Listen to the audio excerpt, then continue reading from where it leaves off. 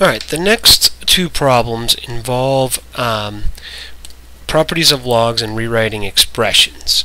So we know that log base b of 2 equals x and log base b of 3 equals y. So what that's telling us is we want to rewrite this expression in terms of log base b of 2 and log base b of 3.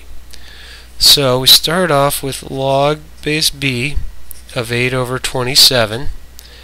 Now because of the division, I can write this as two separate logs with subtraction. So log base b, excuse me, of 8 minus log base b of 27. So that's one property we're going to apply. The next is I can both of these can be rewritten as powers. Log base b, I'm going to write 8 as 2 cubed and I'm going to write 27 as 3 cubed. Properties of logs allow me to pull these exponents out front. So I'm going to have 2, excuse me, 3 log base b of 2 minus 3 log base b of 3.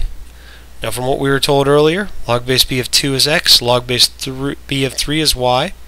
So we end up with 3x minus 3y in terms of x and y. So answer B. The next one, which one of the following is not an equivalent way of writing ln of 1 over x, ln of 1 divided by xy, excuse me? Well, let's see. So first off, I can rewrite this as ln. I can write it as xy to the negative 1 because that's the same thing as 1 over xy. And I can pull the negative 1 out front.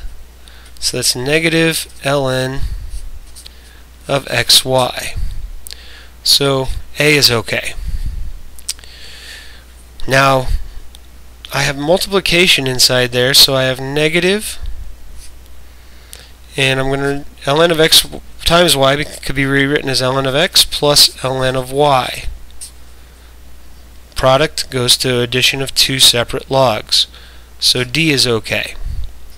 Finally, I can distribute the negative through, so I have negative ln of x minus ln of y. So C is okay. The only one that is not okay, so, sorry, B is okay. The only one that's not okay is C, because that should be a negative there for this to be true.